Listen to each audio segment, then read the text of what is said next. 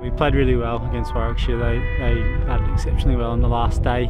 Um, it was disappointing not to get a win after putting in um, some really good cricket, um, but it's a funny game and that's just the way it goes sometimes. So we've got to, yeah, had to dust our so socks off and, um, and prepare for a Kent game now. So there's not much time to, to dwell on whether it's a win or a loss. That's the, the nature of, um, of county cricket. So we're, we're on to the next game now.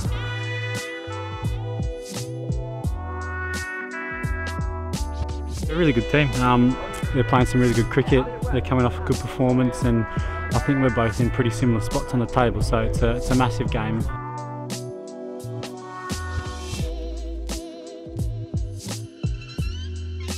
We've still got still got some great players in this team as well. So um, it's it's an exciting it's an exciting time to be playing, and I think there's going to be a lot of energy in this game from our side of things, particularly cliche, but you don't want to look too far ahead. Um, you want to stay in the contest, whether that be with the battle with the ball, and um, and when it's when it's your turn to sort of take take onus of the team, um, we need to do that. With the bat, we want to hit our partnerships and, and bat bat for 96 overs with the ball. We want to build pressure, and um, I think cricket is a simple game, often overcomplicated. So we'll just be staying right in the process and um, and getting the contest for as long as we can.